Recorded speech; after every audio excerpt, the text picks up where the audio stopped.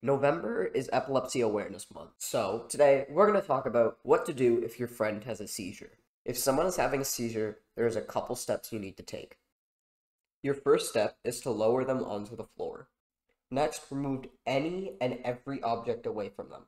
If they're too close to a wall, move them away from the wall too. Finally, call 911. Let the victim seize and do not touch them. That is all you can do to treat a seizure until the authorities come. Thank you for watching today's video, and we'll see you next time.